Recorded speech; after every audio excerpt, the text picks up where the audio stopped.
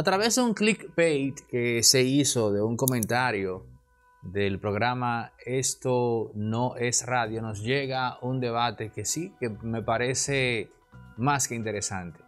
El clickbait decía, Sergio Carlos llega a República Dominicana con envidia a los foques. Un asunto así, más o menos. Y caramba, envidia Sergio Carlos a los foques. Yo voy a responder al vuelo esta pregunta y voy a introducir una idea que a nadie le había pasado por la cabeza. La respuesta es no. No creo que Sergio Carlo envidie a Alofoque, porque asumo que Sergio es inteligente a un nivel tal que le permite comprender a él que el éxito de Alofoque se debe a que atacó en buen sentido un blanco de público que por la milla es el más, eh, el que más se replica, el que más facilidad tiene para hacer las cosas virales, el que más se maneja con estos utensilios, con estos aparatitos, ¿no?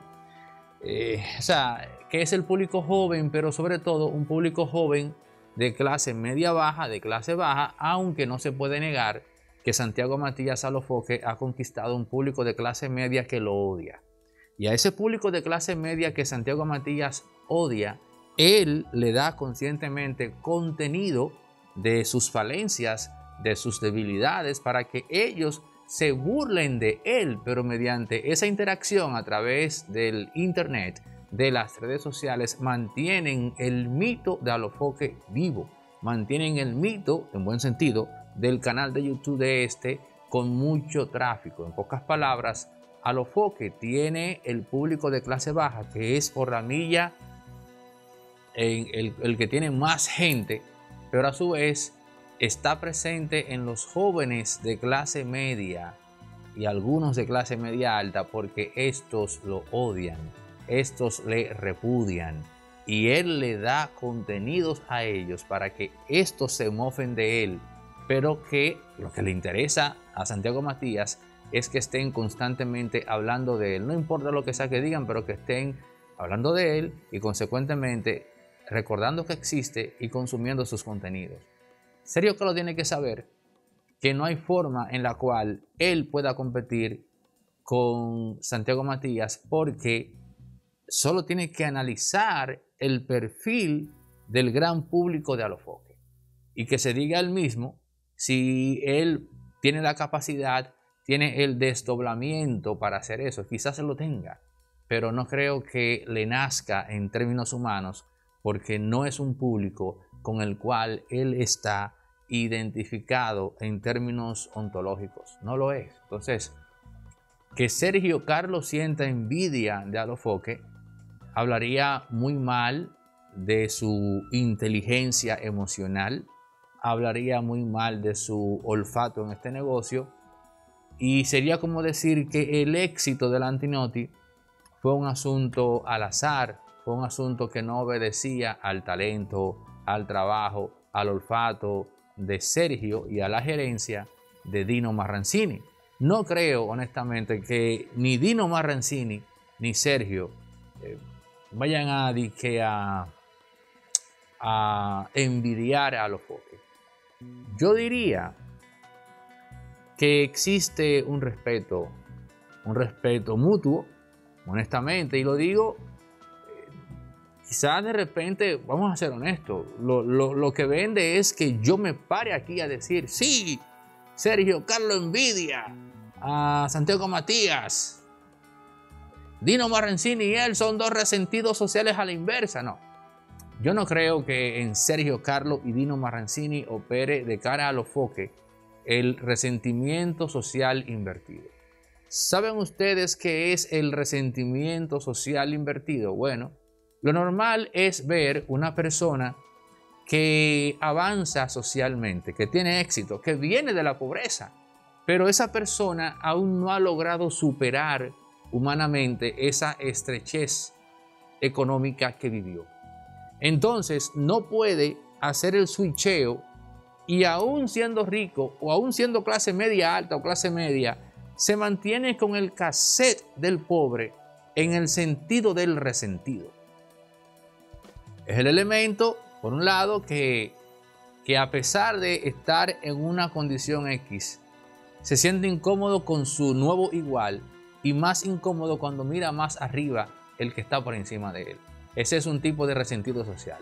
El otro resentido social que también existe es el pobre que nunca logra avanzar. Nunca logra avanzar, siempre se mantiene en una misma situación psicosocial y económica y de ahí no sale, pero crea un resentimiento de cara a todo aquel que está, o que, que está por encima de lo que ha progresado. Entonces, esos son los resentimientos que usted y yo conocemos. Ahora, hay algo que yo llamo, que he acuñado, resentimiento social invertido.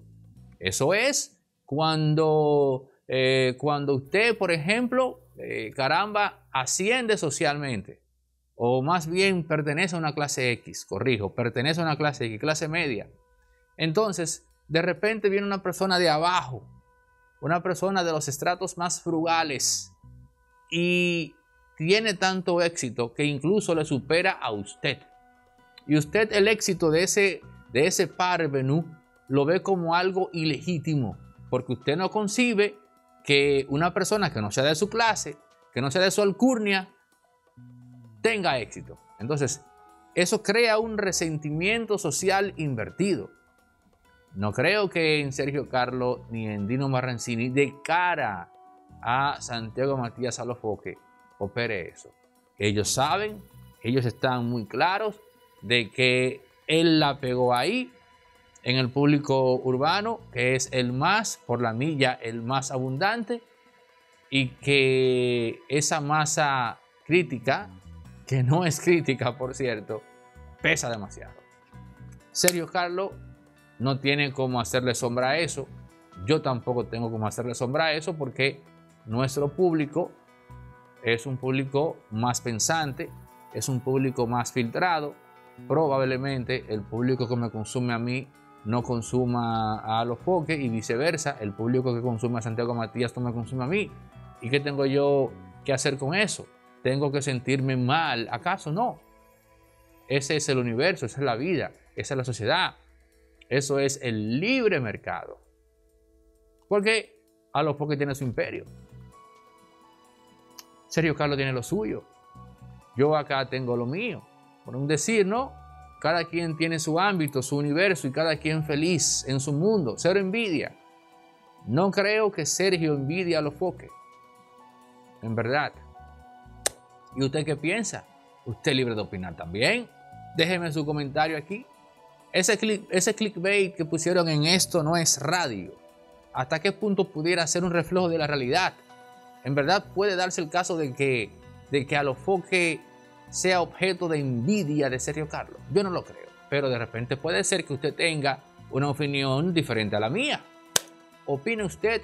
Gracias por llegar hasta el final de este capítulo. Por cierto, les recuerdo que tenemos nuevos contenidos. Tenemos la quinta pata. Pueden entrar ahora mismo a la quinta pata para que se unan a este proyecto no es competencia de nadie, simplemente es una nueva propuesta para que usted la pase bien a la hora de entrar a YouTube.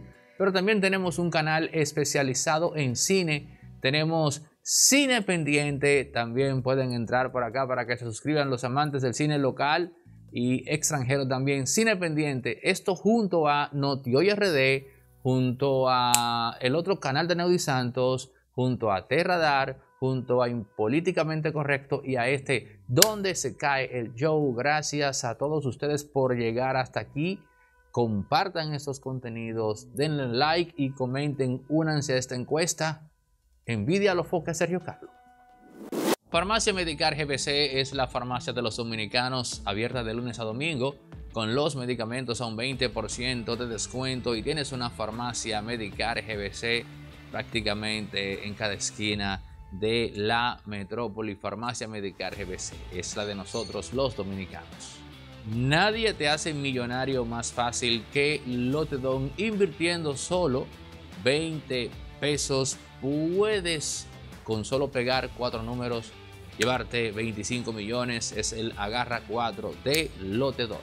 La Quinta Pata, nuestro nuevo proyecto de la cadena Resorte Media. Ustedes pueden eh, entrar directamente al canal de La Quinta Pata y, digamos, suscribirse para aumentar nuestro pool de, de audiencia, por así decir. Ahora mismo voy a dejar encima de uno de estos dos, creo que es este, la etiqueta que va a salir ahora usted le va a dar clic, va a caer directamente en la quinta pata, va a aprovechar y se va a suscribir a la quinta pata.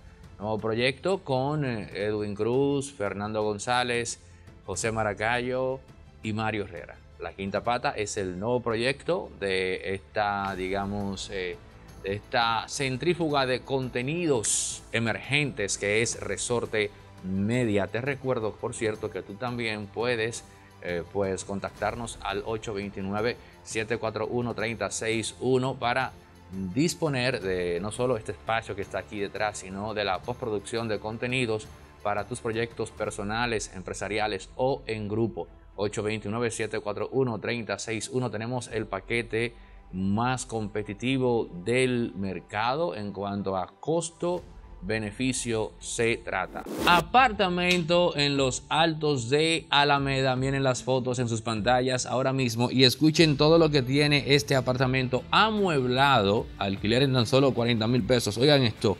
Tiene sala, comedor, cocina, dos habitaciones, dos baños, dos parqueos, sala de estar, calentador de agua, dos aires acondicionados, lavadora, secadora, inversor y tiene servicios incluidos de teléfono, internet, mantenimiento, gas, gimnasio, excepto la electricidad. Miren esas fotos y no solo el apartamento como tal, sino lo que se escogió para amueblarlo, simplemente muy bello. Nos pueden escribir al 829-741-361, repito, 829-741-361 y les ponemos en contacto con Charina Hernández, nuestra representante de bienes raíces. Tenemos un apartamento en venta en los clasificados en la Avenida Independencia, kilómetro 9, en Buenos Aires del Mirador, un tercer nivel con 118 metros, tres habitaciones, la principal con baño eh, tipo jacuzzi y walking closet, habitación secundaria con amplio closet con diversos departamentos, con gavetas y organizador de calzados, un cuarto de servicio con su baño, área de lavado, escaleras de emergencia, calentador de agua, despensa para ropa blanca, hierros, toldos, shutters, cómodas escaleras, un parqueo techado, gas común por medidor y la luz 24/7. Además de seguridad y portón eléctrico, tiene una amplia sala decorada con una hermosa pared tipo mármol perla, techo en Chiroc, el comedor con una relajante vista panorámica, cocina moderna con luces, sensores de movimiento, extractor, profesional en el 829-741-3061. 829-741-3061. Pueden contactar con Charina Hernández para visitar este acogedor apartamento.